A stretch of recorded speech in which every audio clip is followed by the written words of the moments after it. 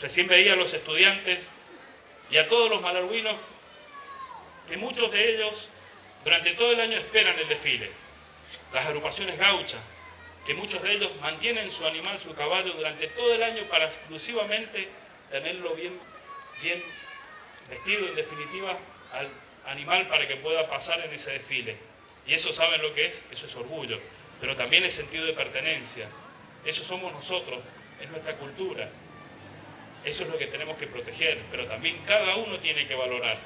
Por eso es importante que esas agrupaciones también hoy pasaran en ese desfile.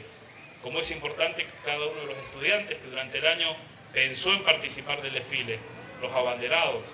Esto es lo del Malargüe que viene. Este es el Malargüe que no me voy a cansar de invitar a cada uno de los vecinos de que formemos, de que construyamos, que podamos fortalecernos, no nos dividamos, hay que unirse para poder salir adelante, para crecer. Creo que tenemos la posibilidad de tener ese excelente, esa excelente ciudad, ese excelente departamento. Solamente basta que nosotros lo definamos como pueblo, como vecinos, basta que nos pongamos a trabajar en esa línea.